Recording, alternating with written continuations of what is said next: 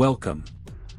In this video we will talk about code P0691, its symptoms, causes and possible solutions. The P0691 trouble code indicates that the Engine Control Module ECM, or Powertrain Control Module PCM, has detected a low voltage condition in the control circuit for fan 1. Fan 1 is typically associated with the engine cooling system and is controlled by the ECM or PCM to regulate engine temperature. When the voltage in the control circuit drops below the specified threshold, the ECM or PCM triggers the P0691 code.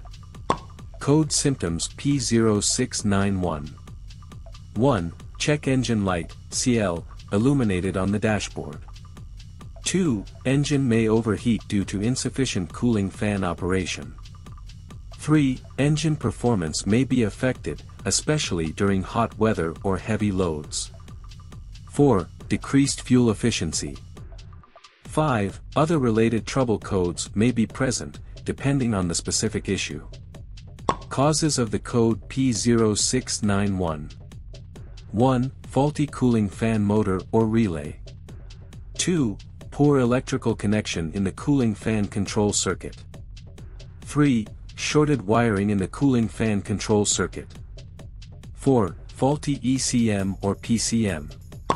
Code Solutions P0691 1. Use a diagnostic scanner to retrieve freeze frame data and all associated trouble codes. This information can help pinpoint the root cause of the issue. 2. Inspect the cooling fan motor and relay for any signs of damage or malfunction. Test the components using a multimeter to ensure they are functioning properly. Replace any faulty components as needed. 3. Check the wiring and connectors in the cooling fan control circuit for any signs of damage, corrosion, or loose connections. Repair or replace damaged components as needed. 4. Test the voltage in the cooling fan control circuit using a multimeter. If the voltage is below the specified threshold, diagnose and repair any issues with the ECM or PCM or related components. 5. If the wiring, connectors, and cooling fan motor or relay are in good condition but the code persists, it may indicate a fault in the ECM or PCM. In this case, the ECM or PCM may need to be replaced or reprogrammed by a qualified technician.